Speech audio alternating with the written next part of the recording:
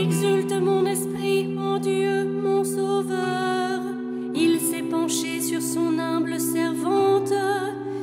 Désormais tous les âges me diront bienheureuse. Le puissant fit pour moi des merveilles. Saint est son nom. Sa miséricorde s'étend d'âge en âge sur ceux qui le craignent.